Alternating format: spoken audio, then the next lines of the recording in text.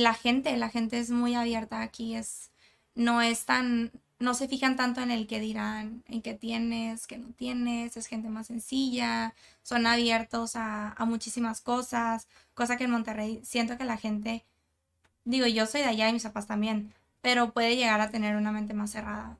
Mm. Hasta hace años, ¿verdad? ahorita yo siento que ya van cambiando, pero sí te adaptas mucho más fácil aquí que en Monterrey, si eres foráneo. Qué interesante. O sea, por, por ejemplo, yo soy de Tijuana y nací en Tijuana y toda mi vida he estado en Tijuana. Entonces, De creo las que pocas personas que conozco. Sí, ya sé, muchos nos dicen eso, pero.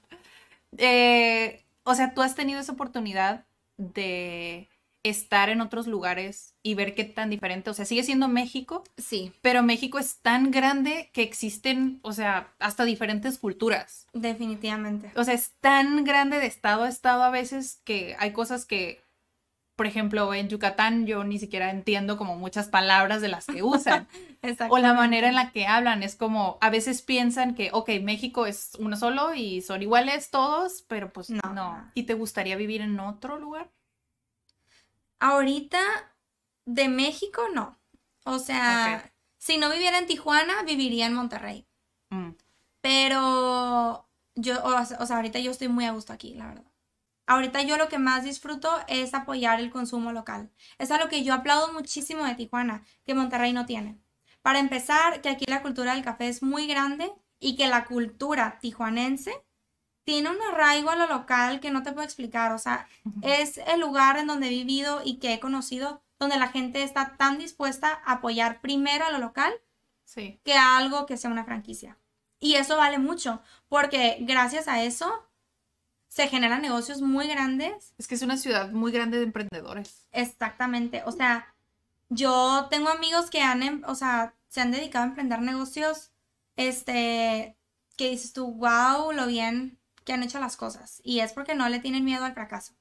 Este, y por ejemplo, yo con esta página, como que yo le estoy dejando que fluya. O sea, a mí no me pagan por mi página. Por eso yo todo lo que pongo es completamente honesto y lo que yo pienso. Si a mí me ha dado resultado, los resultados que yo he querido hasta ahorita, claro que quiero crecer, ¿no? Pero los resultados que yo he querido los he obtenido por lo que yo he hecho, así le voy a seguir. Sí, aunque sea un poco más lento, pero eventualmente. Claro, exactamente. Y si no va a haber más cosas, no planeo vivir de eso. Si se presenta súper padre. Y si no, me encanta. O sea, es algo que hago por hobby. Bueno, primeramente, ¿eres de Tijuana? No. No eres Eh, de Tijuana, ok. No, no nací aquí.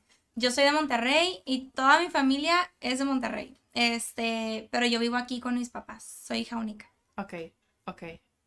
¿Y has vivido en Tijuana mucho tiempo? Mira, cuando estaba chiquita viví en Querétaro. Este, un año, pero estaba muy chiquita, o sea, kinder. Y luego ya me regresé a Monterrey. Y luego en cuarto de primaria me fui a vivir a San Luis Potosí. Un año. Me regresé a Monterrey y en sexto de primaria me vine a Tijuana. Entré un año tarde a sexto de primaria, aquí me quedé. En segundo de secundaria me regresé a Monterrey. No funcionó. Nos enamoramos de Tijuana y nos regresamos otra vez para acá.